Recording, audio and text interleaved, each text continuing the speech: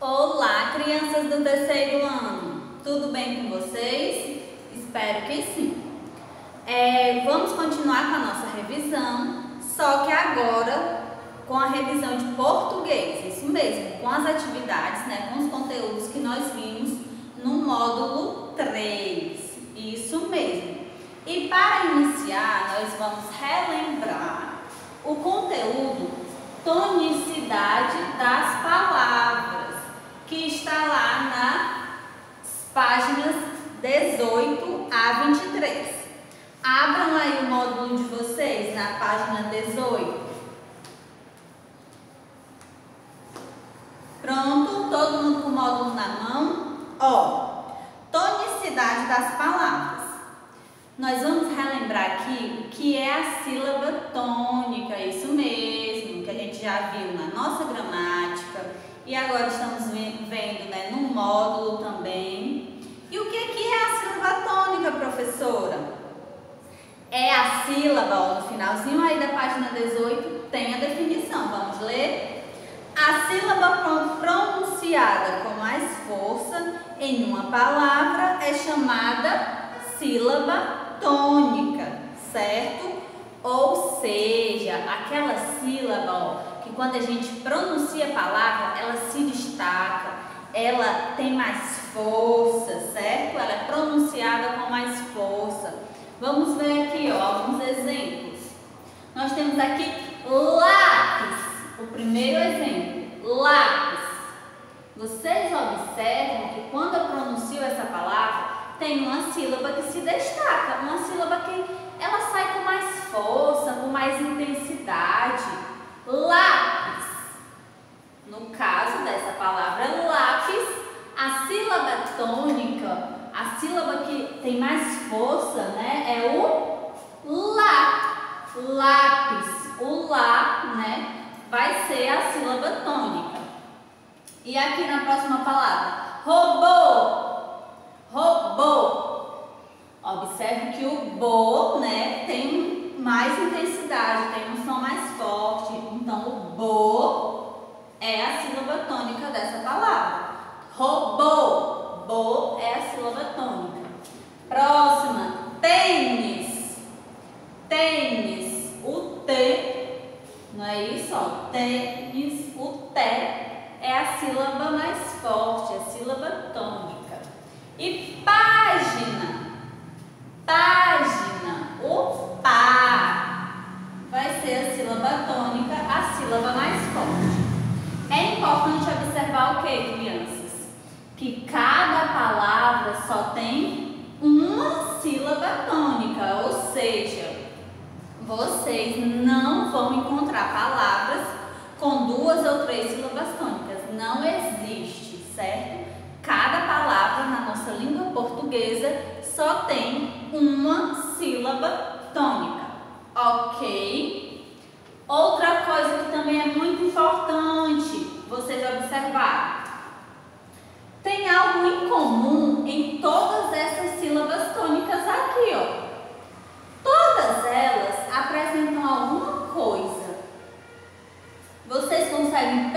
Perceber o que, que tem em comum em todas essas sílabas para que elas sejam sílabas tônicas? Hum? Ó, crianças, percebam que todas possuem acento, não é isso? Ó, o lá aqui, o A está com acento agudo. No bo, aqui, o O está com acento circunflexo. No T, o E está com acento circunflexo e no Pá o A está com acento agudo.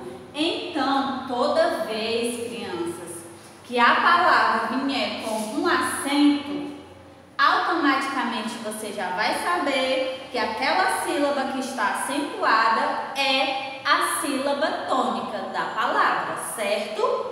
Então, quando tiver na palavra ou acento agudo ou acento circunflexo, essa palavra, né, essa sílaba que tiver acentuada, que estiver acentuada, vai ser a sílaba tônica da palavra, certo? Ó, nós temos aí nas páginas 18 e 19, né? Até a página 21, esse assuntinho aí, né? Com algumas palavras, algumas atividades sobre isso, sobre a sílaba tônica. Na página 22, nós temos um conteúdo que também faz parte da tonicidade das palavras, que são as palavras oxítonas, paroxítonas e proparoxítonas. Vocês lembram o que significa cada palavra dessa? Hum? Se não lembram, vamos relembrar agora, não é isso? Ó, as, observem aí no livro, página 22, que tem a definição, tá bom? Palavra, né, para ela ser oxítona, ela precisa que a sua sílaba tônica seja a última, a última sílaba da palavra. Assim ela é classificada como oxítona. E paroxítona, palavras que têm a penúltima sílaba tônica, certo? E proparoxítona, professora, palavras que têm a antepenúltima sílaba tônica, certo? Ó, é, é importante vocês observarem que essa classificação é de acordo com a posição da sílaba tônica, certo? De acordo com a posição. Se ela está em último lugar, se ela é a antepenúltima ou se ela é a penúltima, tá bom? Para a gente entender melhor, vamos observar aqui o exemplo. Nós temos aqui três exemplos. Primeira coisa que a gente vai fazer é identificar a sílaba tônica de cada uma dessas palavras, tá bom? Ó, lâmpada, lâmpada. Eu já observo que o lã vai ser a sílaba tônica, não é isso? Tanto ela tem um acento, não é que fica mais fácil para vocês identificarem, quanto se vocês pronunciarem, vocês vão observar que o lã, ele tem um som mais forte, ó, lâmpada, certo? Agora vamos para a próxima, panela, panela, o né se destaca, não é isso? Ó, panela, então aqui o né é a sílaba tônica. E por último nós temos café, café, uma com acento agudo, né? E o fé é que é a sílaba mais forte, a sílaba que se destaca. Pronto, nós já identificamos a sílaba tônica de cada palavra. Agora nós vamos observar a posição dessa sílaba. E como é que eu sei a posição, professora? Ó, na palavra, crianças, vocês sempre vão começar a olhar da esquerda, ó, do final da palavra para o início, da esquerda para a direita. Vamos contar quantas sílabas tem essa palavra? Vamos lá. Nós temos uma sílaba, duas e três, não é isso? O da é a última sílaba dessa palavra. Última. O pá é a penúltima sílaba dessa palavra. E o lã é a antepenúltima sílaba dessa palavra. Última, penúltima e antepenúltima. Então eu sei que nessa palavra a sílaba tônica é a antepenúltima, não é isso? Então vou colocar aqui, ó. Ante penúltima. Ó, essa palavra, eu já sei que a posição dessa sílaba tônica é a antepenúltima, certo? E aqui, no, na panela, o né, vamos descobrir, né, qual é a posição. Última sílaba, o lá, o lá é a última sílaba. O né, a penúltima e o pá a antepenúltima. Então eu sei que o né é a sílaba tônica. Última, penúltima,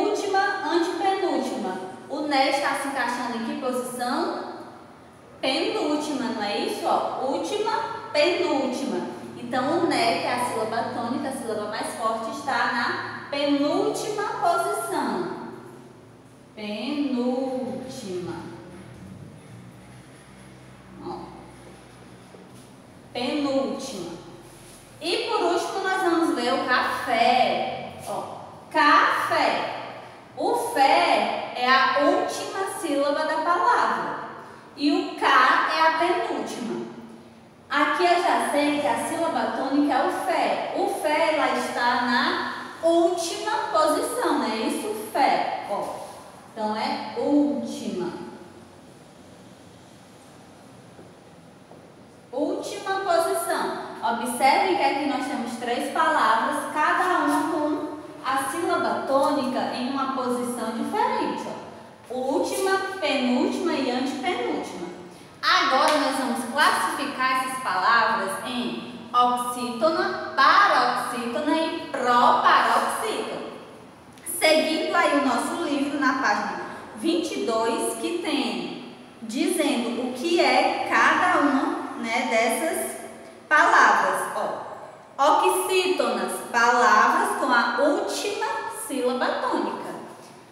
Então eu sei que oxítonas são as palavras que têm a última sílaba tônica. Eu vou observar aqui. Qual dessas três palavras tem a última sílaba tônica? Café. Ah, café tem a última sílaba tônica. Portanto, café vai ser uma palavra oxítona. Oxítona, porque tem a última sílaba tônica. Vamos ver o segundo, paroxítonas, palavras com a penúltima sílaba tônica. Ah, então para uma palavra ela ser paroxítona, ela tem que ter a sua sílaba tônica na penúltima posição. Vamos ver aqui qual é a palavra que tem a sílaba tônica na penúltima posição é panela. Panela tem a sílaba tônica na penúltima posição. Por isso vai ser o quê? Paroxítona. Paroxítona. E só sobrou a lâmpada. Vamos ver se ela se encaixa como proparoxítona. Ó, proparoxítonas, palavras com a antepenúltima sílaba tônica. Ah, então para uma proparoxítona, ela precisa ter a sua sílaba tônica na antepenúltima posição. Que é justamente o caso da lâmpada. Ó. O lã é a sílaba tônica dessa palavra e ela está na antepenúltima posição. Por isso é proparoxítona.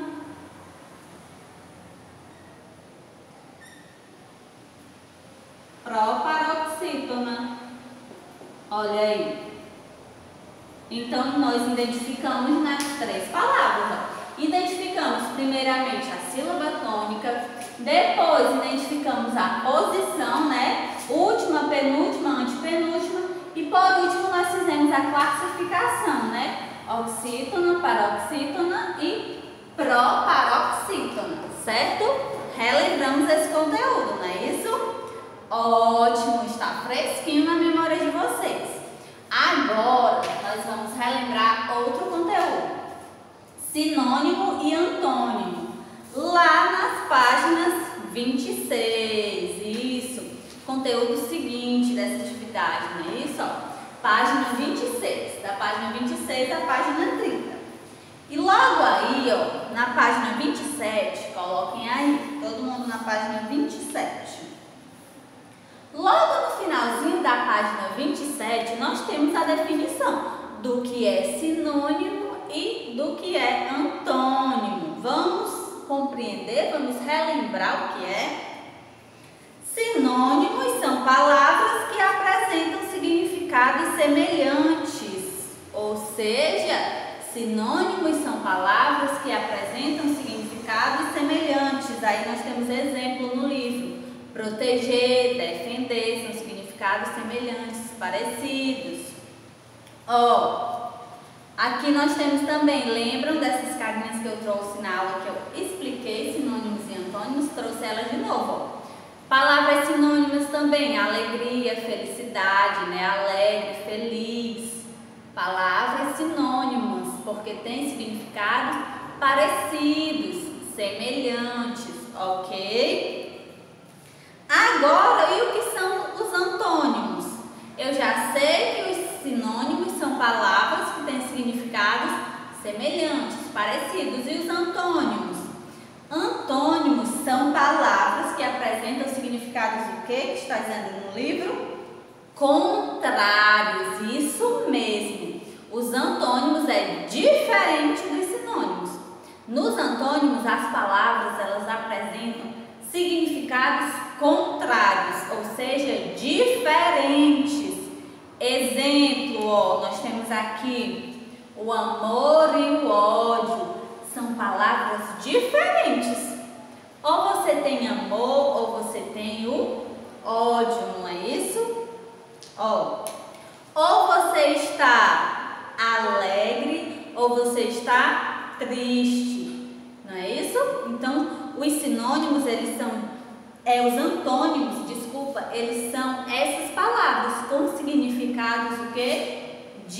Diferentes. Trouxe mais exemplos para vocês, ó. Que nós temos magro, gordo, não é isso? Uma pessoa gorda e uma pessoa magra. Então são o quê? São diferentes, não é isso? Um é gordo e o outro é magro. Que nós temos, ó, doce, salgado. Ou uma comida ela é doce ou ela é salgada. Significados o quê? Contrários, diferentes. Nós temos aqui, ó, aberto, fechado. Ou uma caixa está aberta ou ela está fechada. Nós temos aqui molhado e seco. Seco, molhado. Palavras diferentes, significados diferentes, certo? Aqui mais uma, a lâmpada, ou ela está acesa ou ela está apagada, não é isso? Ó. Então pronto, o sinônimo são palavras com significados semelhantes, parecidos, palavras sinônimas. Os antônimos já são contrários, diferentes, palavras com significados diferentes. Olha aqui os nossos exemplos. Exemplo aqui, alegre e feliz.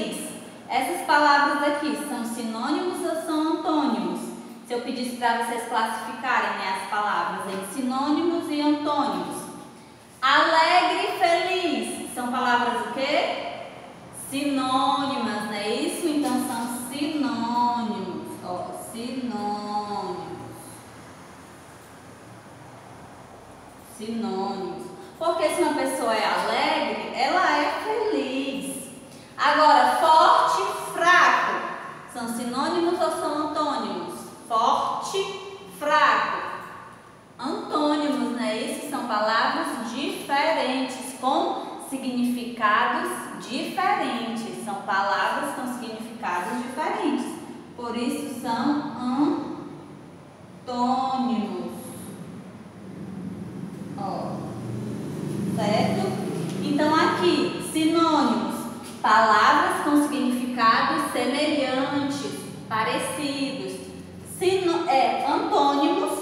palavras com significados diferentes, contrários. Não esqueçam, sinônimos, palavras com significados parecidos, semelhantes. Antônimos, palavras com significados diferentes, contrários, tá bom? Então, esse foi o conteúdo que nós relembramos na nossa aula, tá bom? Beijos para vocês!